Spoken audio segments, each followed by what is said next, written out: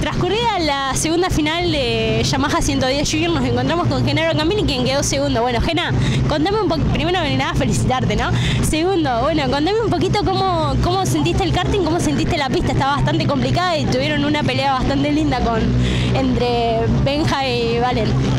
Y primero que el karting lo sentí bien, lástima de la pista que estaba media patinosa, pero la verdad que bien. Puedo decir muchas cosas más porque bueno. Bueno, contame un poquito cómo, cómo hicimos para llegar hoy acá.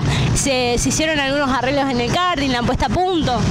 Em, eh, hace unos días lo llevamos al banco de pruebas, tenía algunos problemas, bueno, se los arreglamos por lo menos.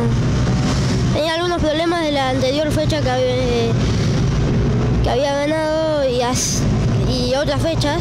Sí. Hace un año que no lo llevamos y bueno, bien. Bueno, contame qué significa esto para vos. Y es algo que no, no, no, lo sé decir, pero lo siento muy bien. Es que como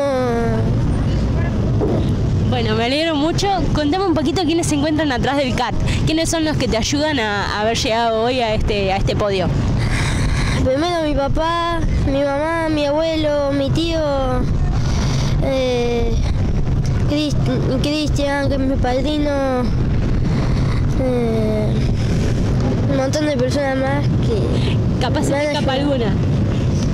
Pero sabrán disculparnos entonces. Contan, decime, ¿a quién le mandamos un saludo además?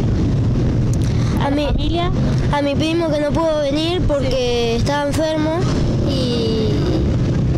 a mi tía, a mi hermana que está en un campamento. Eh, y nadie más. Nadie más, bueno, muchas gracias y éxitos para lo que viene. Espero que nos volvamos a ver. Muchas gracias.